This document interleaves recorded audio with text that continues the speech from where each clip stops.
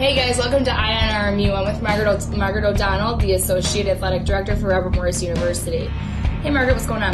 Hey, we're getting ready. We're enjoying the spring weather, I suppose, and um, setting it up for next year. I think we're gonna have some great things for next fall. Tell me about the uh, the new sports we have going on this year at Robert Morris University. We have a big football team. Yeah, everybody's aware of the football program, and we are very excited to have this brand new sport. When other universities are cutting programs, we're adding programs. So, this is Robert Morris's first football team ever. How does it feel to be a part of that team? Um, it's an honor and a privilege.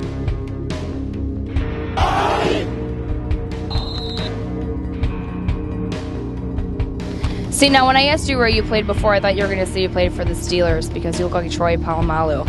Did you model your hairstyle after him by any chance? Are you going to do a, sh- a shampoo commercial after your first season at Robert Morris? Hey, if they ask me, I'm down to do it. So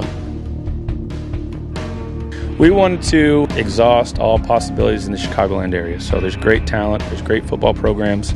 Um, most of my staff had recruited the area before, so we knew a lot of the coaches, and we wanted at least you know 60 to 70 percent of our roster to come from within 45 miles of the downtown campus. getting to play again is is a dream come true for me, and any chance I can get to get on the field is, is a blessing.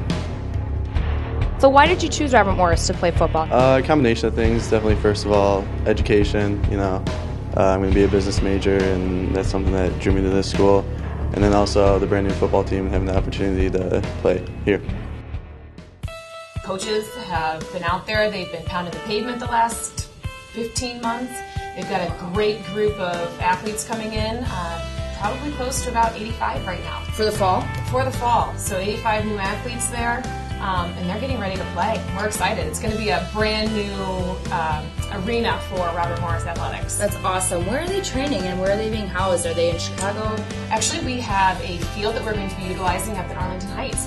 Beautiful um, facilities, great new turf.